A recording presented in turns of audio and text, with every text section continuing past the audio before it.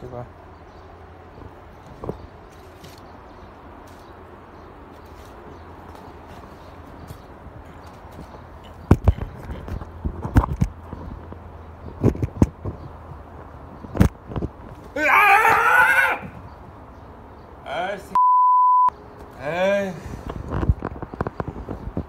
제 비명 소리에 놀라셨죠? 양양과 치타에게 아침을 주려다 탁자 밑에 죽어있는 쥐를 보고 놀라 소리친 겁니다. 제가 쥐를 진짜 싫어하거든요. 가끔 발생하는 일인데도 당최 적응이 안 됩니다. 아 근데 목소리가 이상하다고요? 구독자님 가운데 이준희님이 주신 아이디어인데 근본 컨텐츠에 한번 적용해봅니다. 지금부터는 지난번 사라진 보미와 강희 이후 이야기입니다. 두점이의 새끼 보미와 강희가 사라진 직후 생각이 많아집니다. 어미 두점이는 여느 때와 다름없이 뒷마당에 나타나 밥 먹고 뒹굴고 일광욕하며 친구들과 어울립니다.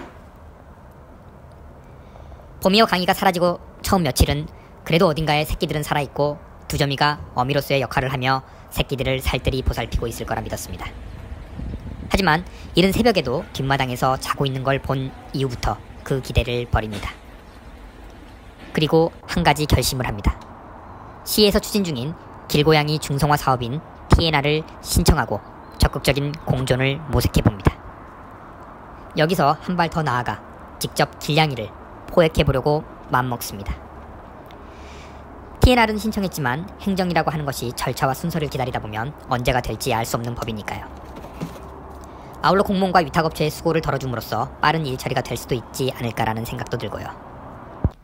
그 첫 번째 포획 대상은 바로 이 모든 문제의 시작이라고 할 수 있는 수컷 양양입니다.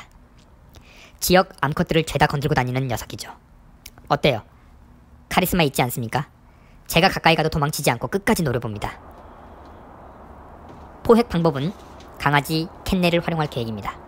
고양이 사료를 당분간 이 안에 넣어두고 일단 안심을 시킨 다음 길냥이들 중 양냥이가 들어갔을 때 잽싸게 문을 닫는 거죠. 낚싯줄을 연결해서 문을 닫는 방법도 고려 중입니다. 케이지 안에 사료를 넣어두고 잠시 후 넷 중 가장 경계심이 많은 두점이가 밥을 먹으러 옵니다. 길냥이들에게 두려움보다 더 무서운 건 어쩌면 배고픔일지도 모른다는 생각을 해봅니다. TNR을 추진 중인 위탁 업체 측에서 방문 연, 연락이 오게 되면 바로 실행에 옮길 계획입니다. 근데 연락은 올까요?